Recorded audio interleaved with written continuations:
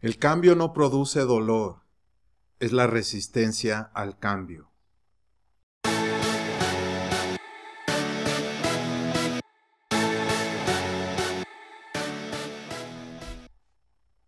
Lunes 27 de enero del 2020 tenemos el día de la tormenta autoexistente.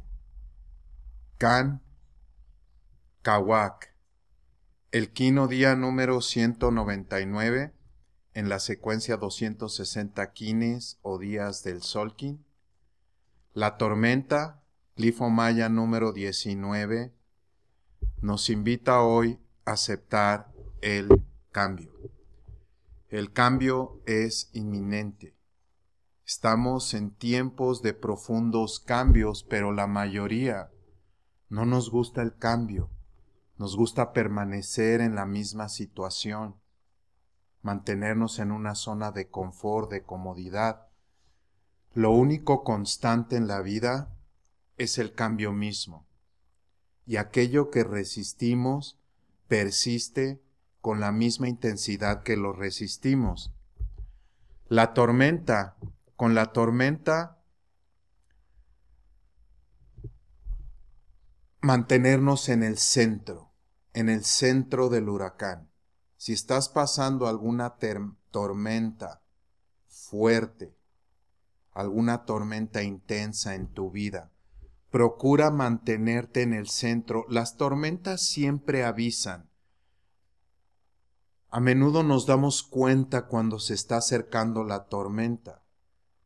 mantener la paz, la armonía, especialmente en esta trecena de el guerrero, es muy importante porque el guerrero es una energía intensa, es una energía aguerrida entonces hay que aceptar esos cambios para poder trascender el ego realmente, que son grandes cambios.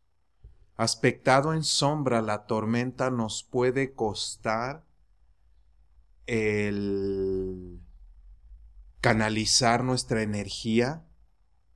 Nos rehusamos al cambio. La tormenta es la energía. Una tormenta es la forma más pura de energía que nos muestra la naturaleza.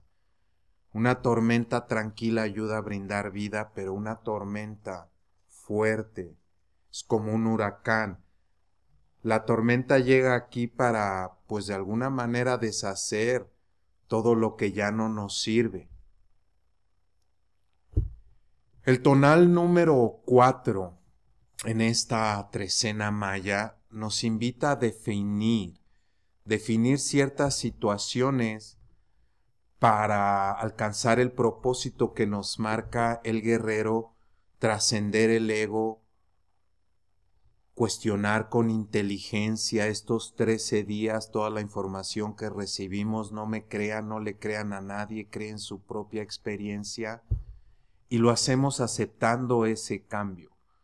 Tonal 4 realmente nos invita a definir ciertas situaciones en nuestra vida, ciertos aspectos que pues alguna razón hemos negado, pensamos postergado, ahora ha llegado el momento de definir y también de prestar atención a nuestras bases, porque el número cuatro es la base de la pirámide tiene que ver con nuestras bases, con nuestros valores, que sean sólidos.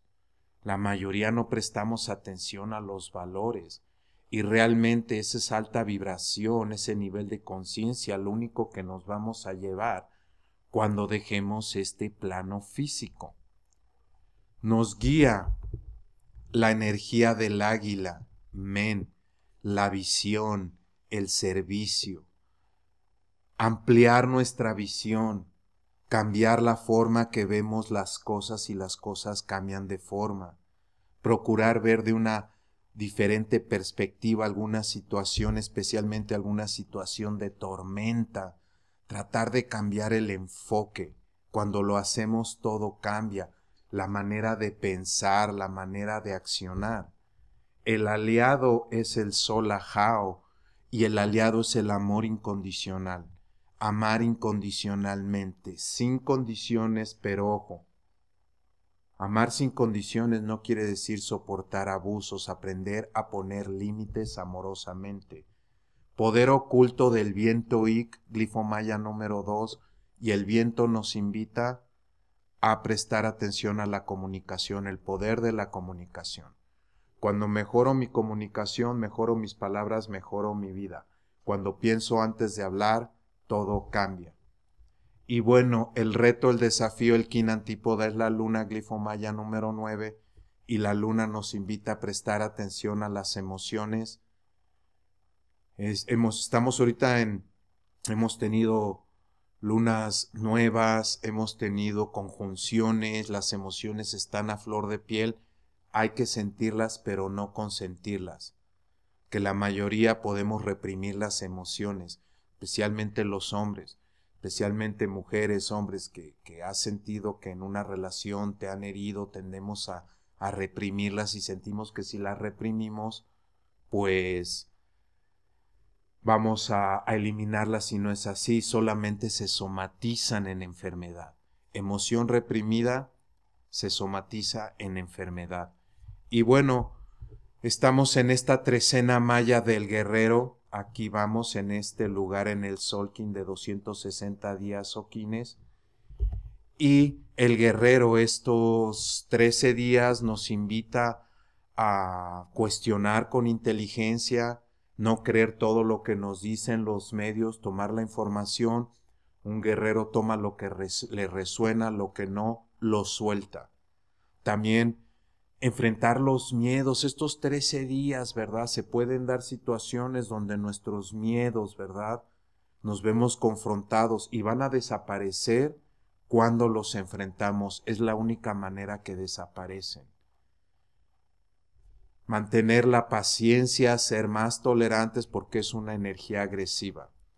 Si te interesa alguna lectura de tu carta natal maya, visita astrologiamaya.com o factormaya.com o alguno de los servicios, gratitud infinita por su atención, los reconozco, valoro y respeto, luz, paz, amor y sobre todo entendimiento en su camino. Hayun Hunapku, Eva Maya, Emaho.